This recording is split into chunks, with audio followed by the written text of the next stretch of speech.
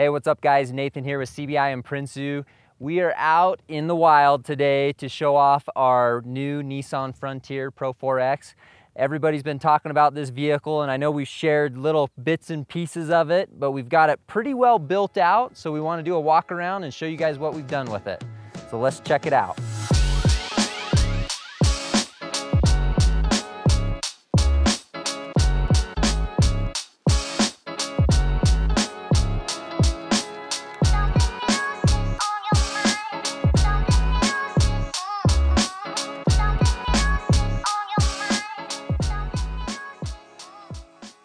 All right, so the point of this walk around is to talk about all the things that we've done to this Nissan Frontier and also to give you guys some insight into what we think about this truck so far as we've used it a little bit off-road and as we built products for it, we definitely have some opinions that we've formed. Um, the other thing that's really cool is we're gonna give you some insight into ways that we're gonna continue to build out this truck. So Let's start at the front end. Um, first off, I think overall styling, it's, it's been said online and I would agree with it 100%. Uh, Nissan has done a great job with the aesthetics and styling of this truck. It definitely looks tough. It looks way better once it's lifted and has some decent sized tires on it, but they've done a great job with it. It's got a kind of a burly, tough look and um, that look matches its performance for the most part. So if we look at the front end here, um, the first thing you'll notice is we've changed the front bumper. Um, we've gone with our Covert Series bumper. That's the first bumper we've offered for this Frontier. And it is, in my mind, it's one of our best Covert bumpers to date. Um, it's a work of art. It matches perfectly with the front of this truck. And if you notice, if you look, when we, when we show you the full on straight view of this, it matches this body line all the way around. So there's two things that happen in the way that we've, we've designed this. First off, the installation is super easy. You do have to trim and cut to make the bumper fit, but there's lines already on the vehicle that make it very easy to do. The other thing is, is because of how we've designed it, um, it would be next to impossible to screw up this installation. So for all of you who wanna install it yourself, there's a lot of hope for you. You don't have to worry about it or stress about it. Um, we used uh, one of the things that I think is the coolest, honestly, is we have a special die that we use for this. I'm laughing at Branson. I just got to point this out. Branson here is trying to film, and he's got bugs flying around, flying around his legs, and he's he's shaking and. Sorry, I, it's like biting my legs. it's getting a little wild. So anyways, going back to this, uh, this portion here, we use a special die that matches this radius. And to me, that's one of the things that really just icing on the cake, finalize this bumper. Um, another thing that's really cool is just like all of our coverts, you've got a built-in light bar mount. So there's room for a 30 inch single row light bar, integrated winch mounting, it's super easy to mount a winch into this bumper. You can mount anything up to a 12,000 pound winch. Um, we have the VR Evo series. It's a 10S is what we have mounted in here. Um, you have lots of access on both sides. Plus you can see your winch line right here above the Fairlead opening. And then of course we're running our CBI Fairlead mount and the Factor 55 flat link, which is a great combo on the front end. Um, just like all our other bumpers, we've incorporated our CNC machine uh, D-ring tabs. So these are sh soft shackle compatible as well as your standard three quarter inch screw, screw pin style shackle. One last thing, this bumper's got a lot of tricks and, and features, but one last thing that's really cool is you'll notice on the side here, we have this bolt-on plate. It's kind of a decorative plate. If you take that plate off, um, we've engineered this bumper to work with a center grill guard.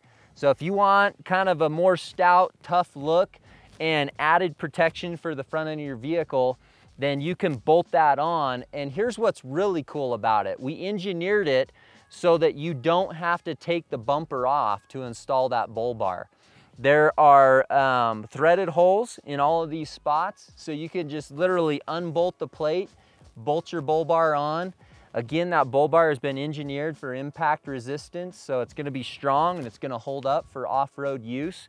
And uh, again, it just, it just makes the front end of this thing, it just changes it. It makes it look tougher.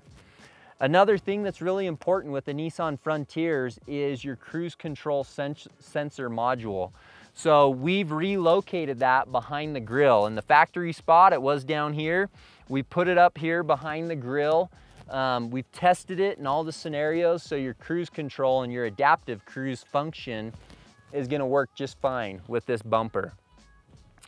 Um, that, man, that was a mouthful. There's a lot going on there. But uh, I love this bumper. To me, it changes the look of this truck so much and just gives it such an aggressive look and it fits with the aesthetics of the front end. Not to mention just the bumper, but we have our skid plates as well underneath. Um, we're running, this particular skid is a steel skid, but we're offering them in steel and aluminum. And same concept really went into the design of this skid plate. It's designed not only to work with the factory setup, but also with our covert style bumper. And the skid plate has all the same characteristics as the bumper. It's built to look like it fits on this vehicle. It's built for um, protection and impact resistance. And having this full set of skids on this vehicle is a major benefit um, for off-road use. It's one of those things that we suggest to our customers that they purchase, you know, right off the bat is a good set of skid plates, um, some rock sliders. To have all that protection underneath, you're protecting the vital parts of the vehicle. So uh, we opted to do kind of our, our uh, customary TRD gray is what we call it from the Toyota side of the world, but um, we like that light gray uh, powder coat color for the skids and, and it really shows them off.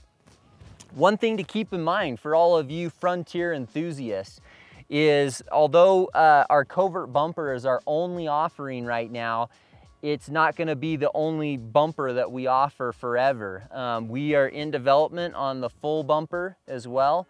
So we're gonna have a full-on bumper offering. So you're gonna wanna stay tuned for that as we continue to build out this truck. Those are gonna be things that we're gonna be showing off and, and giving everybody sneak peeks of what's going on. Um, one other thing, as long as we're on the front end that I just wanna mention is the headlights and fog lights. Um, this truck gets naturally compared to the Tacoma because it's almost identical in every measurement, inside and outside. And I think Nissan has taken a lot of cues from the Tacoma. Um, but one thing that I really like about this truck that they've done is the LED headlights and the fog lights.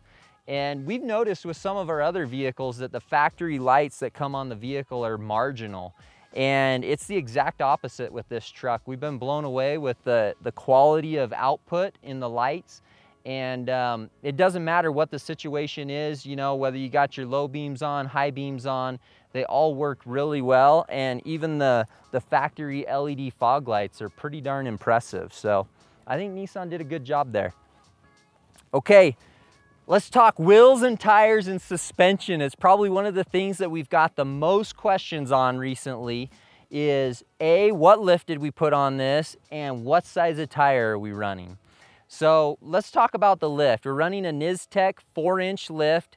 Um, it's got their coilover set up on the front. We're running the SPC upper control arms, uh, which, you know, a lot of times in speaking about lifts, you know, there's, there's kind of a cutoff of when you want to have your upper control arms. I would say if it's within your budget, always go with the aftermarket upper control arm. It's going to give you um, better alignment. It's going to give you more droop in most cases and you're gonna get a better performing suspension with, uh, with that upper control arm paired with the lift kit. This is a four inch lift. Um, as far as tire size here, you can see it right here at the top. We're running a 285 75 17, which is a true 33 inch tire. This is a Nitto Ridge Grappler, uh, one of our favorite tires to run. Um, it just it kind of has everything that we need for our climate. It's, it's an aggressive looking tire. It's got a good tread pattern for summer uh, off-road trails. It has decent siping for winter uh, roads, I should say, and trails. And um, it just wears really well. But this tire measures overall diameter is 33.9 inches. So it's just a hair shy of 34 inches. as far as the overall diameter. If you look at the, the wheel well setup, um, we did have to do just a little trimming on the back here. So this is just on the plastic in the lower portion of the fender.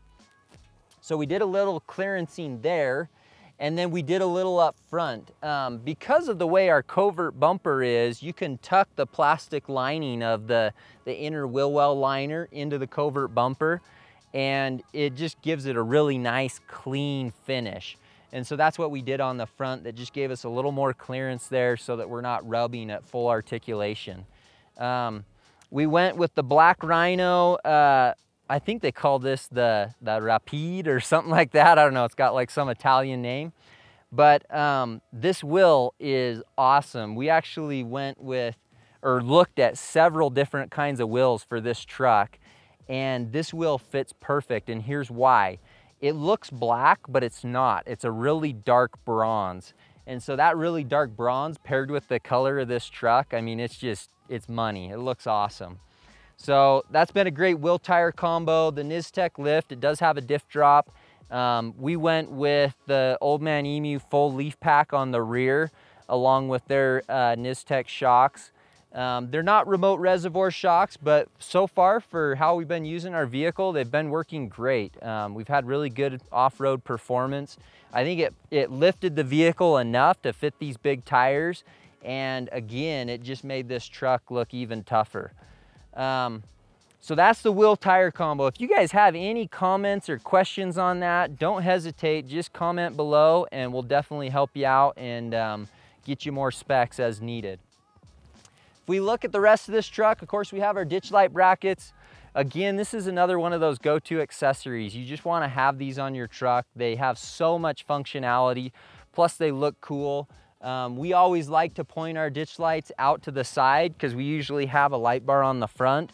So that light bar will provide the forward projection, which we have the, the Heretic 30 inch amber light bar in the front of this. And it's perfect for off-road driving and lighting up the trail. So we don't need any more light there. Um, so we've got these Heretic uh, BA2s on the, the ditch lights and we always angle them out at least 45 degrees. These are a little more than 45 and that's because we've got such a good spread for forward lighting that we just wanted to get more of the, the side of the road, side of the trail lit up. Um, and that's again a great, a great compact way to add lighting to your vehicle we move along to the side of the truck here, I guess we'll talk about the, the Prinsu rack for a second. Uh, again, it's a brand new product offering for the Frontier. Um, it has all of the original Prinsu styling and characteristics and functionality. It's low profile, it's all aluminum. You can move your crossbars wherever you need. You can see we actually mounted an extra crossbar here so that we could put our Roam box, mount, box mounts on there and mount our Roam boxes up top. Um, super easy to do. That's the benefit of the Prinsu rack is it's incredibly functional and you can put it to use however you need it to work. Uh, we chose to pair our Ridgeline handles. Um, I'm, typically we will run two, one here, one there. Um, we haven't put another set back on. We sold a set off of the truck at one of the last events, so We'll get another set on there, but we always run two pairs. Um, there's two reasons that I like to do that. A, if I'm the guy getting in the truck and I need a little more, you know, handle getting in, it's right by the driver's side or the, the passenger in the back. Um, the other thing is I climb up to the boxes, you know, not always am I just in the front of the box. Or like with these Roam boxes, you can see there's three latches. So I like to use the handles you know, for these first two. And then if I had the handle, I'd grab the last handle here and undo that latch. And then I have access to all my gear. Um, this is probably my favorite setup right now on a Prinsu rack is to run boxes. If you have a bigger vehicle like a 4Runner or um, a Bronco or something like that, you could run some boxes, still mount some MaxTrax or Rotopax, whatever you want. Um, but these boxes are super functional. There's always a lack of storage space in these small trucks. And uh, like you can see here, I've got a tent. We have our recovery bag. I've got an extra chair. We just pulled out a, a group of four chairs for the peanut gallery that's putting some pressure on me here. But uh, it's just a great way to carry your gear. And so I'm a big fan of the Roam boxes and the, the versatility that they provide. We also have on the front a Heretic 40 inch light bar. Um, again, that's a spot beam pattern and we're looking for projection, especially for fast travel down the trail. Um, it's a great feature to have for your Prinsu rack. It, it snugs right in, the light bar's cut out for it. And um, the great thing about the way the Prinsu rack is designed and developed is it's extremely quiet. That's one of our biggest goals when we design a new rack is, is to make sure it is really quiet, even when you start putting other accessories on it. And that wind deflector makes a big difference in the, the noise level that the rack provides. Um, we even did a really cool uh, YouTube video. So if you haven't seen it, you'll wanna check it out on our page but we give you through a, a decibel reader the difference of a stock truck, and it was this truck that we used compared to this truck with a Prinsu rack. So be sure and check that out. Um, I think that hits the majority of the items for the Prinsu rack. Uh, let's talk a little bit about steps. So these are our side steps. Um, it's the first product offering as far as rocker protection and a step option that we've given for the Frontier. Um, this is just a great go-to product. They are built significantly stronger than your standard Nerf bars or side steps, um, although not as strong as a full rock slider. Uh, but they give you tons of functionality getting in and out of your truck, you know, getting up to your roof rack and gear on the rack or whatever it may be, getting into your tent, you know, on the bat on the bed of the truck and and folding it in and out. But they just work awesome. Um, the thing I really like about these steps is, is the styling of them as well. It's a very unique style that we've come up with and it does provide that protection, you know, from rocks and crap that are coming up from below. Um, here's another new product that's gonna be coming on this truck is full rock sliders. So that's the next thing you're gonna see us release is a full set of weight bearing rock sliders that you can use in those serious off-road conditions. So you'll be able to lift the truck, um, from the rock sliders like you do on any of our other vehicles. You can still use them as a step like we've done with our uh, top plating and that'll be a pretty cool feature to add to this truck when we get to it. Um, one other thing just to mention really quick is we did add an S-Pod inside with their uh, little digital touchscreen. Um, that's been a great feature to control all of our lighting. So we have, of course, the, the lighting on the roof rack, the ditch lights, and then the bumpers. Um, we're gonna be adding rock lighting to this as well. Um, that's another one of my personal favorite uh, accessories and we usually put two rock lights in the front um, off or near the front bumper, two uh, behind the front tires, uh, two here just behind the cab and then two on the back and it just gives a really nice um, array of light around the entire vehicle. And so it works well for camping and when you're out on the trail at night to light up, you know, your, your tire path and things like that. So that's gonna be another fun thing that we're gonna be adding. One other thing that I just wanna touch base on really quick is the drivability of this truck. So this truck has been blowing us away. It has a nine speed transmission. It's a V6 motor. Um, I think it's around 310 horsepower and this truck drives the best of all of our midsize vehicles. Um, the only thing that competes with it is the ZR2 with that diesel motor. That is the only truck that competes with it. And um, it is just so nice to drive. It's smooth, it shifts well. You don't have weird shift points or anything like that. I think Nissan has killed it. Um, the crazy thing is too, is for a little truck, this thing carries a lot of weight. Um, we hooked up Hal's boat to it last week and I was super nervous to pull it across town for him. And uh, I think that thing with the trailer weighs almost 6,000 pounds and it just pulled it like a champ. I mean, it was just, you couldn't even feel it. So I think that's a big testament to the transmission on this truck and the way they paired that with the motor and how they work together. Um, We've even posted on our channel and hopefully you guys have seen it, but the fuel economy we've been getting on this truck has been awesome. We just did a trip to Oregon and put on several thousand miles, both on road and off road. and the entire trip we averaged like 16.7 miles to the gallon. And that was loaded just like this. I mean, our boxes were loaded. We had stuff in the bed of the truck for camping and, and the trails we were hitting. And we still got that kind of fuel economy. And, and we weren't, if you guys know me, these guys tease me, but I don't like to go slow on the freeway. You know, we weren't just putzing along on the freeway. We were, we were doing the speed limit at least. so anyways, awesome. They've done a great job with it. Let's go back to the back of the truck then. We'll finish off with our bed bars. Again, another really popular um, option. It's a really affordable way to add accessory mounting to the truck bed of your truck. So whether it's a rooftop tent that you want to mount or bikes or kayaks or skis or snowboards or any other array of equipment, these uh, bed bars work really well. You've got some accessory mounting on the side, so we can add a high lift jack mount, Rotopax mounts, MaxTrax mounts, um, whatever you need. We opted to put the, the DMOS shovel here on the back, um, which is a great accessory to have uh, just for general off-road and overland use and camping. Um, the other thing that's really cool to point out on these is they're really easy to install and to remove. So if you're like me, I like to have my tent for the weekends, but then sometimes I need the full space in the bed of the truck. I can, with a few bolts, I can um, just unbolt this, take it right off. They're very lightweight. It's like 30 pounds for the both pieces, so they're only like 15 pounds a piece. And they'll hold a ton of weight, way more weight than your bed can actually support. So keep that in mind, don't overload them. But um, it's a great accessory to have on this truck. And uh, we'll be coming out with a bed rack as well. So stay tuned. If bed racks are more your style, then that's gonna be a new thing that we're coming out with.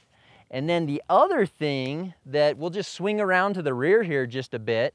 The other thing to keep in mind, you can see we're running the factory bumper right now. So we are currently working on R&D with our rear bumper setup. We're gonna have a full rear bumper setup which will integrate your sensors.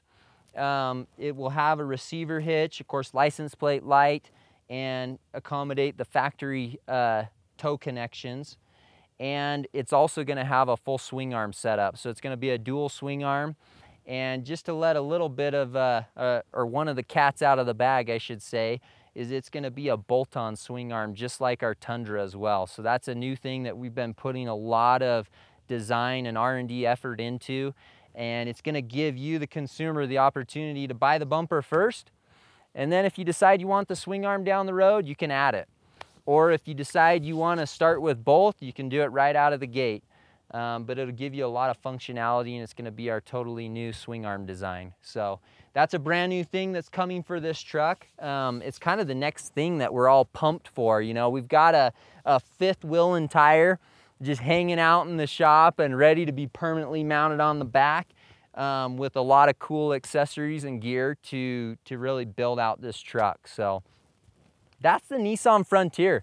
It's probably uh, quickly become one of our most exciting trucks at the shop right now. I think um, we've seen a lot of excitement from our customers and from people online and we felt the same way in-house. You know, everybody's been super stoked on this truck and we're having a lot of fun using it. So if you have a Nissan Frontier, a new one, and you have any questions about how to build it out or how our products mount on these vehicles, um, just let us know. You can comment below. You can reach out to our customer service team and any one of us would be happy to help you out.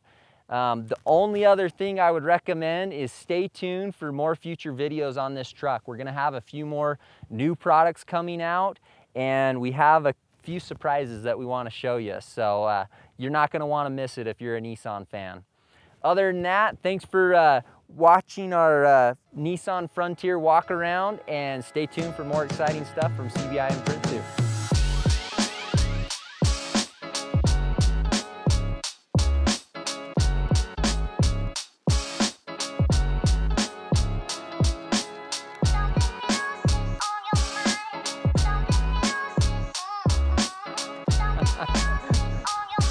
forget to like and subscribe. We'll see you on the trail. So serious. So serious. Don't forget to like and subscribe. We'll see you out on the trail.